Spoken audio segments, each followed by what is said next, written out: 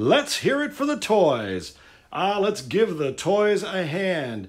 We tabletop sports sim folks, you know, we're not content to have very accurate, statistically based games. No, we need equally accurate accoutrement. You remember those mini helmets, now you see right down here. Bubblegum helmet has come a long, long way since those uh, days of the 60s and 70s where a quarter, gosh, maybe even a dime would uh, get you one of these wonderful little toys jumbling out of the gumball machine. Now, of course, the great thing about collecting today is that you can buy these things in bulk. You can find a complete collection. But here are some things you may not have been aware of in your travels. I have seen some folks exhibit some really strong mini helmet game. Uh, for instance, I've seen them use their mini helmets to track the progress of the ball as you matriculate down the field. Really cool, smart, smart thing. Um, of course, you remember you had your old gumball buggies. Brought your cars with you. These, they can get a little pricey on the market, but I'll tell you, if you really want to roll, roll down a field there, They brought their awesome. toys with them. It's a nice little option. And what's cool is you can see the evolution of the helmets. They've uh, certainly gotten bigger, right? The uh, you know there's a vast difference between the uh, modest little gumball helmets of yore, little square. Uh, obviously, you have much more capability here in terms of molding and uh, getting things accurate. And of course, you've got so many mini helmets on the market that uh, you know people get them signed and all that good stuff.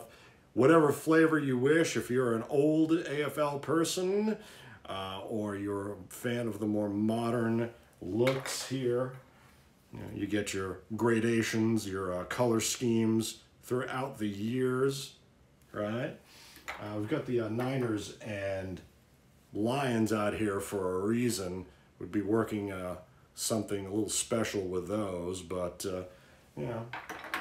Now you can argue that sometimes they get the stripe a little wide, so you know it's a it's a trade-off, and of course they don't really modify the um, bars, but uh, you remember the good old uh, 70s uh, helmet cars, and you see them. Uh, there's actually a shot, I think, of all teams' buggies on one field. But if you look at those old 70s, 80s games, you'll see a lot of these out there. Now, another cool find recently for me was the old ice cream helmets, right? The, uh, I guess you get a nice little, uh, I don't know if I'd I wouldn't. There's no way it would last in my. Uh, my guy would be the ice cream be all over the place. But you know, you might even use this babies. Who knows? Could you use it as a dice roller, something like that? Shake it and throw it. Is that acceptable? I don't know. Again, I got our Niners and Lions out here. You good old, uh, well, St. Louis Cardinals to some of us.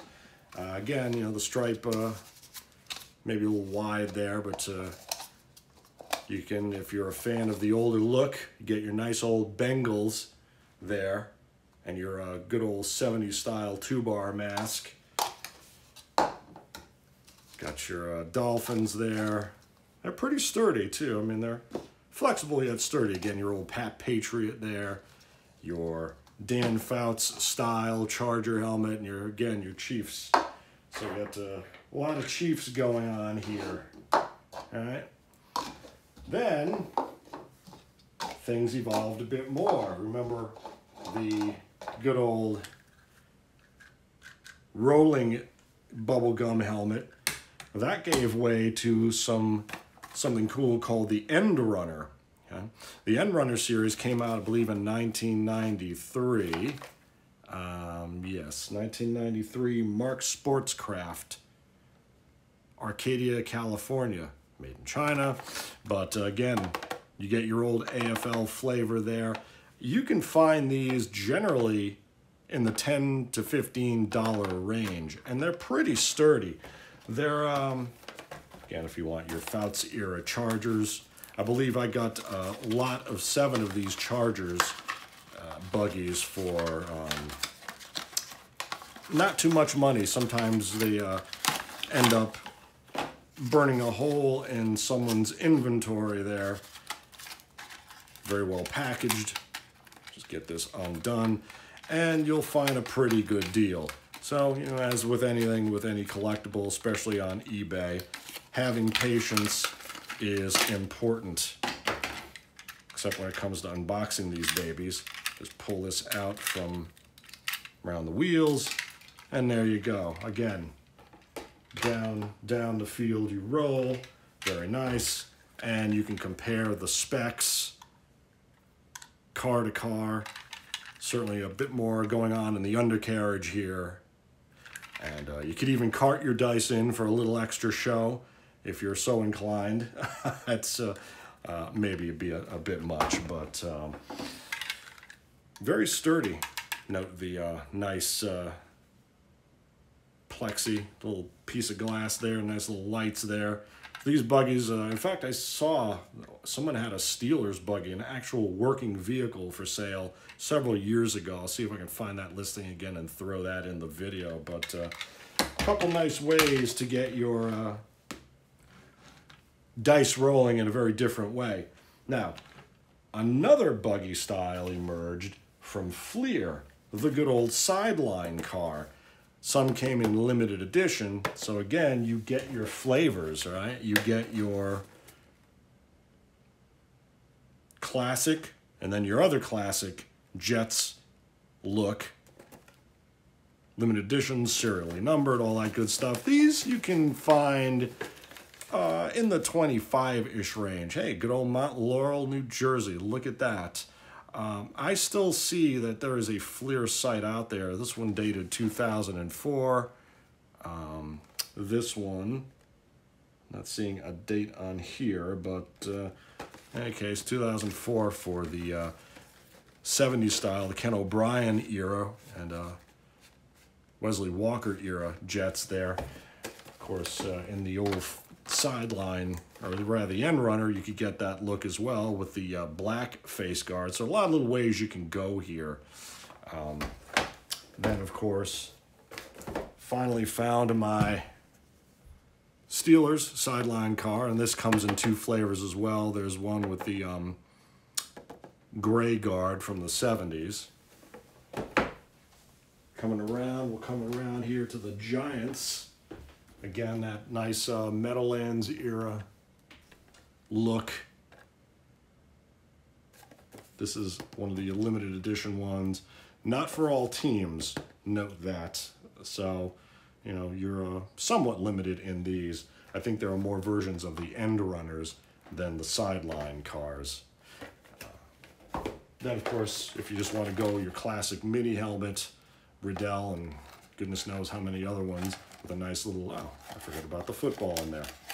Oh, that's a little keychain. I'll throw that somewhere in the mix. But you get your nice little, uh, you know, more realistic look to the uh, padding and the webbing and all that good stuff. Classic Redskins there. So, you know, depending on what you'd like to have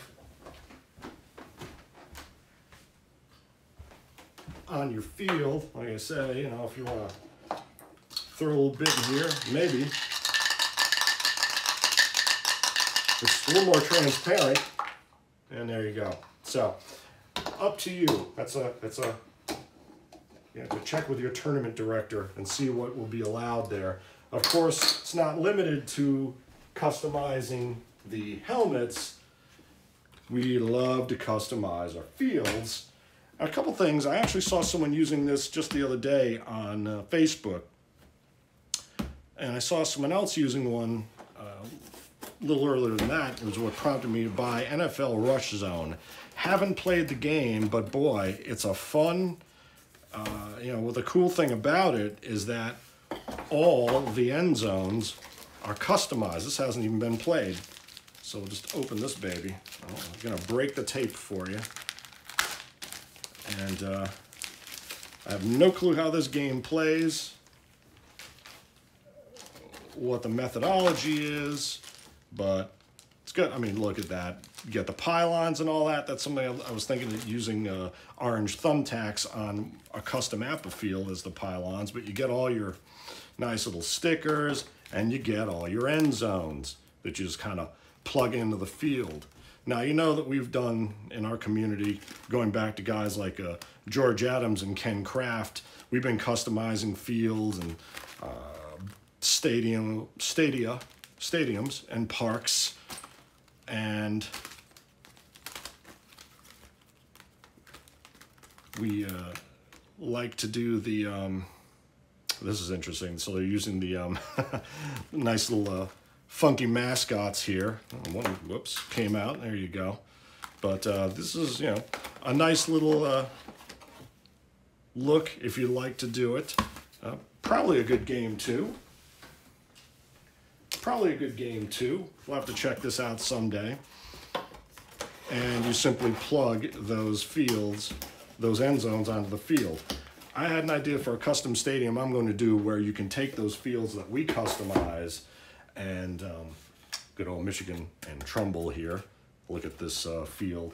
But when you customize the APBA fields, you know, this is the uh, Greg Barrett uh, Heinz Field that he had sent us a few years back.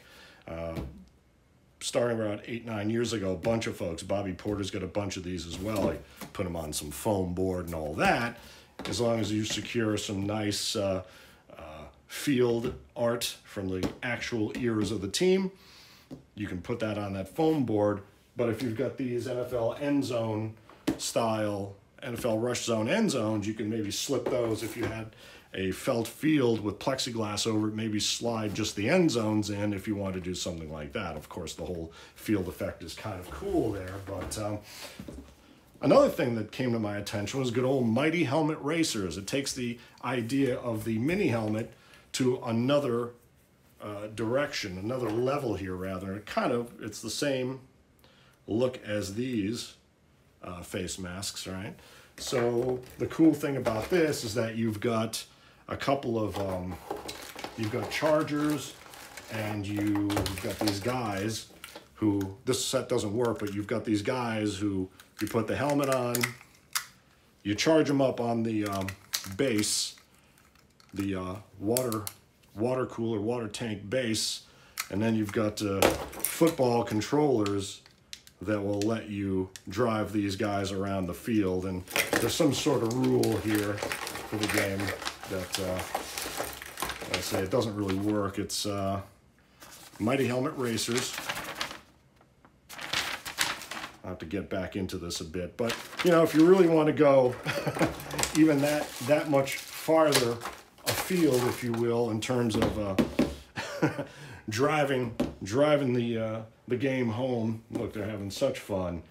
Every team helmet, uh, not the uh, throwbacks. I don't believe you got your uh, well, you got your neoclassic uh, jet helmet there. You got your uh, classic Bengal there. You got your um, that's that is the vintage. Uh, uh, Miami Dolphin there. You got the uh, darker Eagle helmet there with the uh, more pronounced lines kind of your, your well, that's more your St. Louis Rams look there, your greatest show on turf era. You do have the, um, well, this is the white, white Charger bolt, the white bolt there. You got your uh, Brady style Patriots, you got your uh, darker Niners look. Colts have always been the Colts. You got your big old Bills look there. So, uh, whatever your, uh, you know, team, your flavor, your fancy, a fun, a fun possibility for you. Now, you know, I've been customizing fields going back to my first one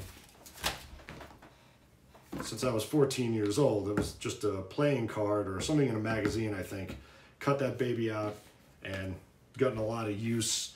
Uh, you see, uh, actually, you know, what I recommend if you're going to be looking at, if you're maybe learning the game, you can always uh, just throw some uh, tape on there, the uh, little uh, sticky notes to denote your end zone. You could do that even at your other sidelines or yard lines just to remind yourself if you're going to be learning the game, teaching someone the game that reminds me reminds you to look at the um, uh, the different charts for results based on field position. Then if you can secure some great field art, or maybe if you're a good designer, you might be able to find a source for some images and build your own fields. These are just some tests.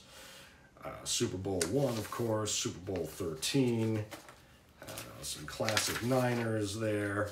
You know, if you find a good source, this is from Gridiron Uniform Database. Uh, they're a little uh, busy right now, so uh, we're just um, just in the early stage of experimenting with these. But uh, contrast, you know, if you can blow that up, you go to a printer.